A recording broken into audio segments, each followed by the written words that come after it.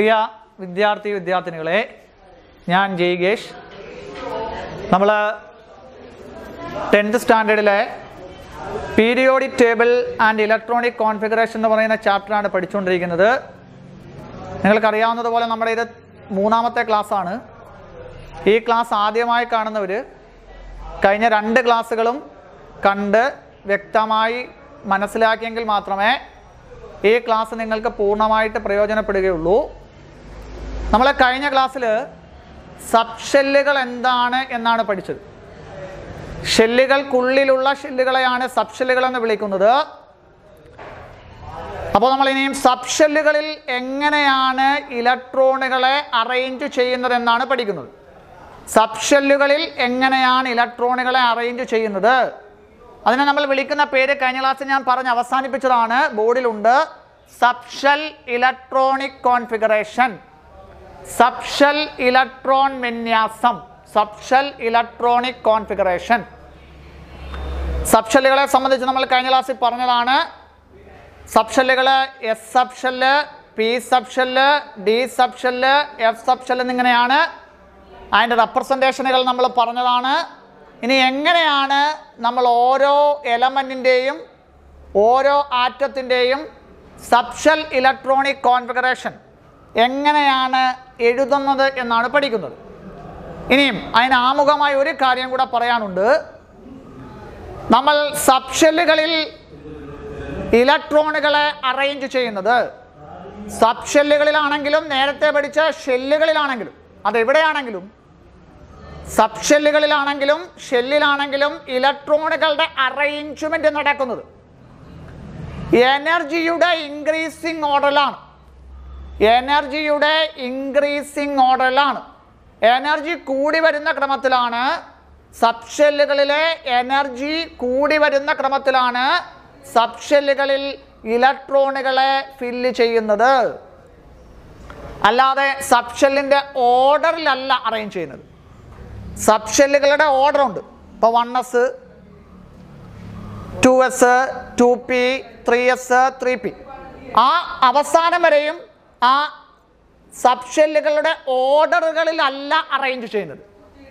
Sub ഷെല്ലുകളിൽ ഇലക്ട്രോണുകളെ arrange ചെയ്യുന്നതിന്റെ ക്രൈറ്റീരിയ എനർജിയുടെ ഇൻക്രീസിങ് ഓർഡറാണ് ആ എനർജിയുടെ ഇൻക്രീസിങ് ഓർഡറുമായി ബന്ധപ്പെട്ട് സബ് ഷെല്ലുകളിൽ ഇലക്ട്രോണുകളെ അറേഞ്ച് ചെയ്യുന്നതിന് നമ്മളൊരു ഡയഗ്രമാറ്റിക്കായി റെപ്രസെന്റ് ചെയ്തിട്ടുണ്ട്.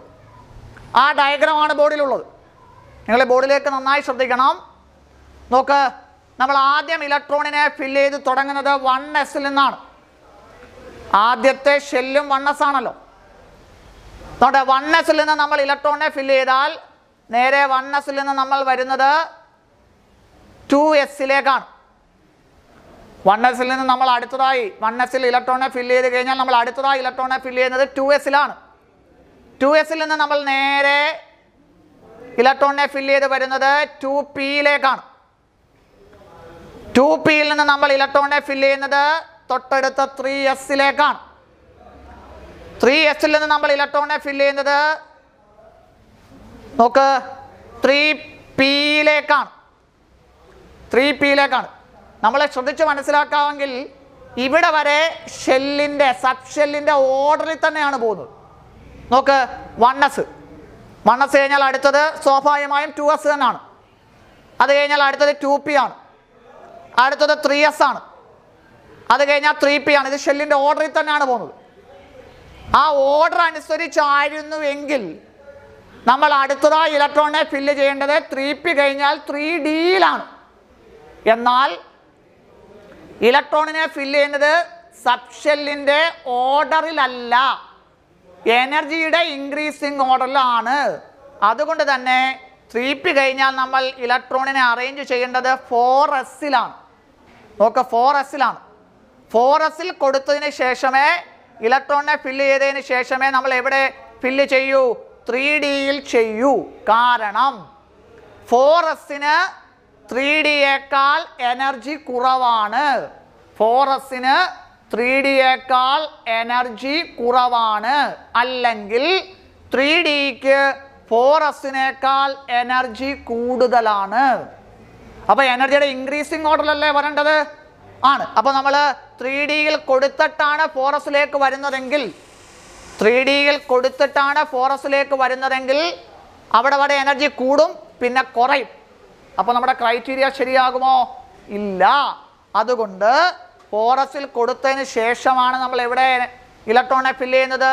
ത്രീ ഡിയിൽ കാരണം എനർജിയുടെ ഇൻക്രീസിങ് ഓർഡറാണ് ത്രീ ഡി കഴിഞ്ഞാൽ നമ്മൾ നേരെ ഫോർ പിയിലേക്ക് കൊടുക്കുന്നു. ഫോർ പിയിൽ നിന്ന് നേരെ നമ്മൾ ഫൈവ് എസിലേക്ക് കൊടുക്കുന്നു. അതിന്റെ ഓർഡറാണ് ഈ കൊടുത്തിരിക്കുന്നത്. നോക്കൂ ഫൈവ് എസ് കഴിഞ്ഞാൽ പിന്നെ നമ്മൾ ഇങ്ങനെ കൊടുത്തു പോവുകയാണ്. ആണ് ഈ കൊടുക്കുന്നതിന്റെ ഓർഡറാണ് കൊടുത്തിരിക്കുന്നത്. ഇലക്ട്രോണുകളെ എനർജിയുടെ ഇൻക്രീസിങ് ഓർഡർ അനുസരിച്ച് ഫില്ല് ചെയ്യുന്നതിന്റെ ഓർഡറാണ് നിങ്ങൾക്കിത് വ്യക്തമായും കൃത്യമായും മനസ്സിലാക്കുന്നതിന് വേണ്ടിയാണ് ഡയഗ്രമാറ്റിക്കായിട്ട് കൊടുത്തിരിക്കുന്നത്. ഡയഗ്രമാറ്റിക് ആയിട്ട് കൊടുത്തിരിക്കുന്നത് നമുക്ക് വലിയ അറ്റോമിക നമ്പർ ഉള്ള എലമെന്റുകളുടെ സബ്ഷൽ ഇലക്ട്രോണിക് കോൺഫിഗറേഷൻസിലോട്ട് അങ്ങനെ എഴുതി പോകാനൊന്നും ഇല്ലെങ്കിൽ പോലും നമ്മൾ ഈ സബ്ഷൽ ഇലക്ട്രോണിക് കോൺഫിഗറേഷൻ എഴുതുന്നതിന്റെ ക്രൈറ്റീരിയ വ്യക്തമായും കൃത്യമായും മനസ്സിലാക്കിയിരിക്കണം. അപ്പോൾ ഇതാണ് സബ്ഷൽ ഇലക്ട്രോണിക് കോൺഫിഗറേഷൻ എഴുതുന്നതിന്റെ ക്രൈറ്റീരിയ അതിനെ റെപ്രസെന്റ് ചെയ്യുന്ന ഡയഗ്രാം ആണ് ഈ കൊടുത്തിരിക്കുന്നത്. ഇനി നമുക്ക് അത്യാവശ്യം കുറച്ച് എലമെന്റുകളുടെ സബ്ഷൽ ഇലക്ട്രോണിക് കോൺഫിഗറേഷൻ ഒന്ന് എഴുതി നോക്കാം. നമ്മുടെ പീരിയോഡിക് ടേബിളിലെ അറ്റോമിക നമ്പർ ആയ ആദ്യത്തെ എലമെന്റ് ഹൈഡ്രജനാണ്. അറിയാമല്ലോ പീരിയോഡിക് ടേബിളിൽ അറ്റോമിക നമ്പറിന്റെ അടിസ്ഥാനത്തിലാണ് എലമെന്റുകളെ അറേഞ്ച് ചെയ്തിരിക്കുന്നതെന്ന്. അപ്പോൾ ആദ്യത്തെ എലമെന്റ് ആരാണ്? ഹൈഡ്രജൻ ആണ് ഹൈഡ്രജന്റെ സബ്ഷൽ ഇലക്ട്രോണിക് കോൺഫിഗറേഷൻ എങ്ങനെയാണ് എഴുതുന്നതെന്ന് നോക്കാം. ഹൈഡ്രജൻ നോക്കൂ. ഹൈഡ്രജന്റെ സിമ്പൽ എച്ച് ആണ്. അതിന്റെ താഴെ വണ്ണെന്ന് കൊടുത്തിട്ടുണ്ട്. ഇടതുവശത്ത് താഴെയായിട്ട് വണ്ണെന്ന് കൊടുത്തിട്ടുണ്ട്. അത് സൂചിപ്പിക്കുന്നത് അറ്റോമിക നമ്പറിനെയാണ് അറ്റോമിക നമ്പർ വൺ ആണെങ്കിൽ അറ്റോമിക ഒരാറ്റത്തിന്റെ അറ്റോമിക നമ്പർ അറിഞ്ഞാൽ രണ്ട് കാര്യങ്ങൾ പറയാം. പ്രോട്ടോണിന്റെ എണ്ണവും പറയാം ഇലക്ട്രോണിന്റെ എണ്ണവും പറയാം. നമുക്ക് ഇലക്ട്രോണിന്റെ എണ്ണമാണല്ലോ വേണ്ടത്. എന്തെഴുതാൻ? സബ്ഷൽ ഇലക്ട്രോണിക് കോൺഫിഗറേഷൻ ആണ്. അപ്പോൾ എന്തിനെണ്ണോ വേണ്ടത്? ഇലക്ട്രോണിന്റെ എണ്ണം. അപ്പോൾ അറ്റോമിക നമ്പർ വൺ ആണെന്ന് കണ്ടാൽ ഇലക്ട്രോണിന്റെ എണ്ണം വൺ ആയിരിക്കുമല്ലോ. അതായത് ആ ആറ്റത്തിന് ഒരു ഇലക്ട്രോൺ ആണുള്ളത്. ആ ഇലക്ട്രോണെയാണ് നമ്മൾ ഫില്ല് ചെയ്യേണ്ടത്. ആണല്ലോ? ആദ്യം ഏത് സബ്ഷനിലാണ് കൊടുക്കണ്ടേ? നോക്ക്. വൺ എസിലല്ലേ കൊടുക്കണ്ടേ? അപ്പോൾ വണ്ണസിലാണ് നമ്മൾ കൊടുക്കുന്നത്. അതിങ്ങനെയാണ് എഴുതുന്നത്. വൺ എസ് വൺ ആണ് ഈ മുകളിൽ കൊടുത്തിരിക്കുന്നത് ഇലക്ട്രോണിന്റെ എണ്ണമാണ്. ഇത് ഷെല്ലിന്റെ നമ്പറാണ്. ഒന്നാമത്തെ ഷെല്ലിന്റെ എസ് സബ്ഷൻ ഫസ്റ്റ് ഷെല്ലിന്റെ എസ് സബ്ഷൻ അവിടെ ഒരു ഇലക്ട്രോൺ. ഒരു ഇലക്ട്രോൺ അല്ലേ ഉള്ളൂ ഇവിടെ? അപ്പോൾ അതുകൊണ്ട് വൺ എസ് വൺ ഞാൻ വായിക്കുന്നത് എങ്ങനെയാണ്? വൺ എസ് വൺ ഇതാണ് ഹൈഡ്രജന്റെ സബ്ഷൽ ഇലക്ട്രോണിക് കോൺഫിഗറേഷൻ. അടുത്ത രണ്ടാമത്തെ എലമെന്റായ ഹീലിയത്തിലേക്ക് പോകാം. ഹീലിയത്തിന്റെ അറ്റോമി നമ്പർ ടു ആണ്. അതിന്റെ അർത്ഥം അതിനകത്ത് രണ്ട് ഇലക്ട്രോണുകൾ ഉണ്ടെന്നാ. നമുക്ക് പോകാം. ആദ്യത്തെ സബ്ഷനിൽ വണ്ണസ് തന്നെയാണല്ലോ. വണ്ണസ് തന്നെയാണ്. വണ്ണസ് എഴുതാം. വണ്ണസ് എഴുതുന്നു. എസ് സബ്ഷനിൽ മാക്സിമം എത്ര ഇലക്ട്രോൺ കൊള്ളുമെന്നാണ് നമ്മൾ കഴിഞ്ഞ ക്ലാസ്സിൽ പഠിച്ചേ. എസ് സബ്ഷനിൽ മാക്സിമം കൊള്ളുന്ന ഇലക്ട്രോണുകളുടെ എണ്ണം രണ്ടാണ്. ആണല്ലോ? ഹീലിയത്തിന്റെ കയ്യിൽ രണ്ട് ഇലക്ട്രോണുകൾ ഉണ്ടല്ലോ. ആ രണ്ട് ഇലക്ട്രോണുകളെ നമുക്ക് ഇവിടെ കൊടുക്കാമല്ലോ. എസിൽ രണ്ടെണ്ണം കൊള്ളുമല്ലോ അപ്പോൾ നമ്മൾ എങ്ങനെ കൊടുക്കും? One S two one S two എന്നാണ് വായിക്കുന്നത്. വൺ എസ് ടു അപ്പോൾ ഹീലിയത്തിന്റെ subshell electronic configuration one S two അടുത്ത നോക്ക് ലിഥിയം. ലിഥിയത്തിന്റെ അറ്റോമി നമ്പർ ത്രീ ആണ്. മൂന്ന് ഇലക്ട്രോണുകളാണുള്ളത്. മൂന്ന് ഇലക്ട്രോണുകളാണുള്ളത്. ആദ്യം നമ്മൾ വൺ വണ്ണസിൽ തന്നെയല്ലേ കൊടുക്കുന്നേ? ആദ്യം മണ്ണസിൽ തന്നെ കൊടുക്കാം. വൺ എസ് എസ് സബ്ഷലിൽ മാക്സിമം എത്രയേ കൊള്ളൂ? രണ്ട് ഇലക്ട്രോണുകളെ കൊള്ളൂ. ആകെ എത്ര ഇലക്ട്രോൺ ഉണ്ട്? മൂന്ന് ഇലക്ട്രോണുകളുണ്ട് അപ്പോൾ നമുക്ക് ആദ്യം എസിൽ കൊള്ളുന്ന പരമാവധി കൊടുക്കാം. രണ്ടെണ്ണം കൊടുക്കും. വൺ എസിൽ രണ്ടേ കൊടുക്കാൻ പറ്റൂ. വൺ എസ് കഴിഞ്ഞാൽ നമ്മൾ നേരെ എങ്ങോട്ടാണ് പോകണ്ടേ? വൺ എസ് എനർജിയുടെ ഓർഡർ അനുസരിച്ച് നമ്മൾ അടുത്തതായിട്ട് പോകേണ്ടത് എവിടേക്കാ? ടു എസിലേക്കാ അല്ലെങ്കിൽ തന്നെയും ഒന്നാമത്തെ ഷെല്ലിന് ഒരൊറ്റ സബ്ഷെല്ലേ ഉള്ളൂ. അത് ആണ്. അല്ലേ? പിന്നെ അടുത്ത രണ്ടാമത്തെ ഷെല്ലിലേക്കല്ലേ പോകേണ്ടത്? രണ്ടാമത്തെ ഷെല്ലിന് രണ്ട് സബ് ഷെല്ലുകളുണ്ട്. ഏതൊക്കെയാ? ടു എസും ഉണ്ട് ടു പിയും ഉണ്ട്. നമ്മൾ ആദ്യം എവിടെ കൊടുക്കുന്നത് ടു എസിൽ ഫില്ല് ചെയ്യാം. ടു എസിൽ മാക്സിമം രണ്ട് ഇലക്ട്രോണുകൾ കൊള്ളൂ. പക്ഷേ നമ്മൾക്ക് കൊടുക്കാൻ ഇവിടെ എത്രയേ ഉള്ളൂ? രണ്ട് നമ്മളിവിടെ കൊടുത്തു കഴിഞ്ഞു. പിന്നെ എത്ര ഇലക്ട്രോണേ ഉള്ളൂ? ആകെ മൂന്നല്ലേ ഉള്ളേ? പിന്നെ എത്രയേ ഉള്ളൂ? ഒരെണ്ണേ ഉള്ളൂ. അപ്പോൾ എങ്ങനെയാ വരുന്നേ?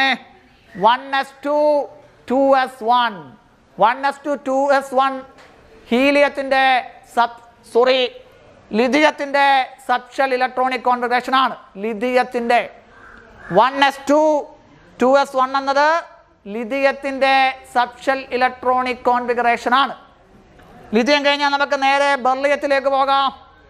ബെർലിയത്തിന്റെ അറ്റോമിക് നമ്പർ നാലാണ്. നാല് ഇലക്ട്രോണുകളാണുള്ളത്. നാല് ഇലക്ട്രോണുകൾ നമുക്ക് ഫില്ല് ചെയ്യണം. ആദ്യം സ്വാഭാവികമായും വൺ എസിൽ തന്നെ കൊടുക്കാം. വൺ എസിൽ മാക്സിമം രണ്ടെണ്ണം. അപ്പോൾ വൺ എസ് ടു അല്ലേ? അടുത്ത വൺ എസ് കഴിഞ്ഞാൽ നേരെ എങ്ങോട്ട്? ടു എസിലേക്ക് പോകാം. ടു എസിൽ മാക്സിമം രണ്ട് കൊള്ളുമല്ലോ രണ്ടെണ്ണം നമ്മൾ വൺ എസിൽ കൊടുത്തല്ലോ. പിന്നെ എത്ര ഉള്ളേ? രണ്ടെണ്ണം ഉണ്ടല്ലോ. അത് നമുക്ക് എവിടെ കൊടുക്കാം? ടു എസിലേക്ക് കൊടുത്താൽ എന്തായി? One S two two S two വായിക്കുന്നത് one S two two S two ഇതാരുടെയാണ്? ബെർലിയത്തിന്റെ സബ്ഷൽ ഇലക്ട്രോണിക് കോൺഫിഗറേഷൻ ആണ് നമുക്കിങ്ങനെ ഇലക്ട്രോണിക് കോൺഫിഗറേഷൻസ് ഓർഡറിൽ എഴുതി പോകാം. അല്ലേ? നമ്മളൊരു വീഡിയോ ക്ലാസ്സിന്റെ പരിമിതി ഉണ്ടായതുകൊണ്ട് നമുക്ക് പ്രധാനപ്പെട്ട എലമെന്റുകളുടെ സബ്ഷൽ ഇലക്ട്രോണിക് കോൺഫിഗറേഷൻസ് എഴുതി പോകാം. അടുത്തതാണ് ഞാൻ എഴുതുന്നത് സോഡിയത്തിന്റെതാണ് സോഡിയം. സോഡിയത്തിന്റെ സിമ്പൽ എൻ എ ആണ് അതിന്റെ അറ്റോമിക് നമ്പർ ലെവൻ ആണ് പതിനൊന്നാണ്. നമുക്ക് നോക്കാം പതിനൊന്നാണ് സോഡിയത്തിന്റെ അറ്റോമിക് നമ്പർ. അതിന്റെ അർത്ഥം സോഡിയത്തിൽ പതിനൊന്ന് ഇലക്ട്രോണുകളുണ്ട് എന്നാണ്. പതിനൊന്ന് ഇലക്ട്രോണുകളാണ് സോഡിയത്തിന്റെ കയ്യിലുള്ളത്. നമുക്ക് ഓരോ സബ്ഷനിലായി കൊടുക്കാം. ആദ്യം വണ്ണസിലാണല്ലോ കൊടുക്കുന്നത് അപ്പോൾ നോക്ക് വണ്ണസ്. വണ്ണസിൽ മാക്സിമം എത്ര ഇലക്ട്രോണാ കൊള്ളുന്നേ? രണ്ട് ഇലക്ട്രോണുകൾ കൊള്ളും. One S two. One S കഴിഞ്ഞാൽ നമ്മൾ നേരെ പോകുന്നത് എവിടേക്കാ? നോക്ക് ടു എസിലേക്കാണ് ടു എസിലും മാക്സിമം എത്ര കൊടുക്കാം? ടു എസിലും മാക്സിമം എത്ര കൊടുക്കാം? രണ്ട് കൊടുക്കാം. അപ്പോൾ one S two two S two. ആകെ നാല് ഇലക്ട്രോണെ അല്ലേ നമ്മൾ ഫില്ല് ചെയ്ത് കഴിഞ്ഞുള്ള. ഇനിയും എത്ര ഇലക്ട്രോൺ ബാക്കിയുണ്ട്? ഏഴ് ഇലക്ട്രോണുകൾ ബാക്കി ഇരിക്കുകയാണ് ആണല്ലോ ടു എസിൽ നിന്ന് നമ്മൾ നേരെ എങ്ങോട്ടാ പോകുന്നത് നോക്ക്. ടു എസിൽ നിന്ന് നമ്മൾ പോകുന്നത് ടു പിയിലേക്കാണ് പി എന്ന് പറയുന്ന സബ്ഷെല്ലിൽ മാക്സിമം അക്കോമഡേറ്റ് ചെയ്യാൻ കഴിയുന്ന ഇലക്ട്രോണുകളുടെ എണ്ണം സിക്സ് ആണ്. അതായത് പിയിൽ നമുക്ക് മാക്സിമം ആറ് ഇലക്ട്രോണുകളെ ഫില്ല് ചെയ്യാം. നോക്ക് ഇവിടെ ആകെ പതിനൊന്നുണ്ട്. നാലെണ്ണം നമ്മൾ ഫില്ല് ചെയ്തു. ബാക്കി എത്രയുണ്ട്? ഏഴെണ്ണമുണ്ട് ആ ഏഴെണ്ണത്തിൽ ആറെണ്ണം നമുക്ക് നേരിട്ട് ടു പിയിൽ കൊടുക്കാമല്ലോ. അപ്പോൾ one S two two S two two P six ഫുള്ളായോ ആറ് എട്ട് പത്ത്. ഇനിയും ഒരു ഇലക്ട്രോൺ കൂടി ഉണ്ടല്ലോ. ടു പി കഴിഞ്ഞാൽ എങ്ങോട്ടാ പോന്നേ? ടു പി കഴിഞ്ഞാൽ നേരെ പോകുന്ന ത്രീ എസിലോട്ടാ അതല്ലേലും അങ്ങനെയല്ലേ? രണ്ടാമത്തെ ഷെല്ലിന് രണ്ട് സബ് ഷെല്ലുകളല്ലേ ഉള്ളൂ. ഏതൊക്കെയാ? ടു എസും ടു പിയും അപ്പോൾ പിന്നെ എങ്ങോട്ടാ പോകണ്ടേ? ത്രീ എസിലോട്ടാണ് പോകേണ്ടത്. ത്രീ എസിലേക്ക് പോകാം. ത്രീ എസിൽ ത്രീ എസിൽ നമ്മൾ ദാണ്ട് ഒരു ഇലക്ട്രോണിനെ കൊടുക്കുന്നു. നോക്കിയേ സോഡിയത്തിന്റെ സബ്ഷൽ ഇലക്ട്രോണിക് കോൺഫിഗറേഷൻ നോക്കിയേ. One S two two S two two P six three S one ഇങ്ങനെയാണ് സോഡിയത്തിന്റെ സബ്ഷൽ ഇലക്ട്രോണിക് കോൺഫിഗറേഷൻ എഴുതുന്നത്.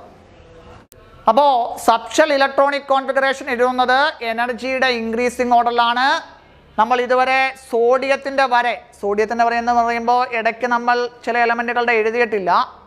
ഒരു വീഡിയോ ക്ലാസ്സിന്റെ പരിമിതി ഉണ്ടായതുകൊണ്ടാണ് അപ്പോൾ സോഡിയത്തിന്റെ വരെ നമ്മൾ സബ്ഷൽ ഇലക്ട്രോണിക് കോൺഫിഗറേഷൻ ആണ് പഠിച്ചത്. സബ്ഷൽ ഇലക്ട്രോണിക് കോൺഫിഗറേഷൻ എഴുതുന്നത് എനർജിയുടെ ഇൻക്രീസിംഗ് ഓർഡറിലാണെന്ന് ഒരിക്കൽ കൂടി ഓർമ്മപ്പെടുത്തുന്നു. നമുക്ക് തുടർന്ന് വരുന്ന എലമെന്റുകളുടെ കൂടി സബ്ഷൽ ഇലക്ട്രോണിക് കോൺഫിഗറേഷൻ എഴുതി നോക്കേണ്ടതായിട്ടുണ്ട്. നമുക്കത് എന്തായാലും അടുത്ത ക്ലാസ്സിൽ ആ ഇലക്ട്രോണിക് കോൺഫിഗറേഷൻ കൂടി എഴുതി പഠിക്കാം. കഴിഞ്ഞ ക്ലാസ്സുകളെല്ലാം വ്യക്തമായും കൃത്യമായും കേട്ടിട്ട് മാത്രമേ തുടർന്ന് വരുന്ന ക്ലാസ്സുകളെല്ലാം ഫോളോ ചെയ്യാവൂ എന്ന് ഒരിക്കൽ കൂടി ഓർമ്മപ്പെടുത്തിക്കൊണ്ടും നമുക്ക് ഇന്നത്തെ ക്ലാസ് ഇവിടെ അവസാനിപ്പിക്കാം.